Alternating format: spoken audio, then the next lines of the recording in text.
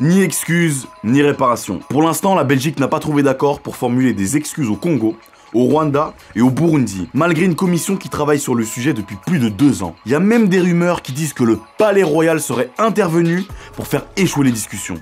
Mais c'est quoi qui coince dans cette histoire? En Belgique, après le mouvement Black Lives Matter, il y a eu une commission parlementaire composée de députés et d'experts qui s'est créée pour analyser ce que le pays a fait dans ses trois anciennes colonies, le Congo, le Burundi et le Rwanda.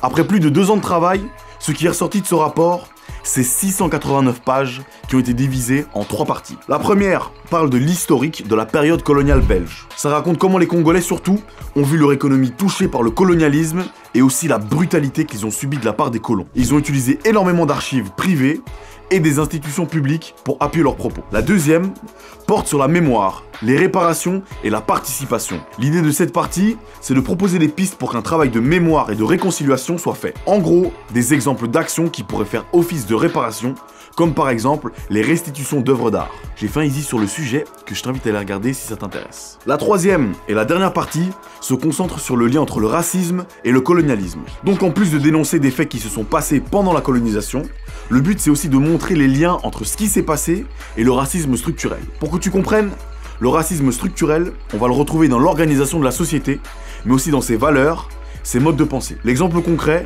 c'est l'accès à l'emploi, au logement ou encore le folklore, comme par exemple ça. Voilà, tout ce travail pour essayer de trouver une manière de réparer le mal qui a été fait. Ça avait été annoncé que ça allait être difficile et on a eu la preuve il y a quelques jours puisque finalement, rien n'a été décidé. Ce qui a bloqué, d'après plusieurs acteurs de cette commission, c'est les libéraux flamands et francophones, donc le MR et l'OPNVLD. Alors que d'après le président de la commission d'enquête, un accord avait été plus ou moins trouvé le 13 octobre. Il y en a même certains qui disent que cet échec des discussions est arrivé après des pressions de la monarchie. L'ex-président de la commission parlementaire, l'écologiste Wouter de Vrint, a déclaré Il y a eu un message du Palais Royal dans ce processus. Je n'ai pas reçu ce message, mais il portait sur les excuses, les compensations et quelques autres points sensibles. Alexander De Croo, le Premier ministre, ou encore Georges-Louis Boucher, le président du MR, ont nié toute intervention du palais dans les discussions. Donc pour l'instant, ça reste des rumeurs. Mais bon, t'imagines bien que malgré qu'ils aient nié, ça a quand même fait réagir. On avait d'abord un consensus sur euh, les excuses et puis soudainement, euh, les forces euh, conservatrices, les, les, partis de droite du gouvernement, hein, en particulier l'OpenVLD et, et, et le MR, fait marche arrière, ne voulait plus prononcer d'excuses. Je n'ai pas eu de contact avec le Palais Royal, mes amis n'ont pas eu de contact avec le Palais Royal. Mais alors en vrai, qu'est-ce qui coince pour présenter simplement des excuses? Il y a plusieurs pistes, et notamment la piste des réparations économiques.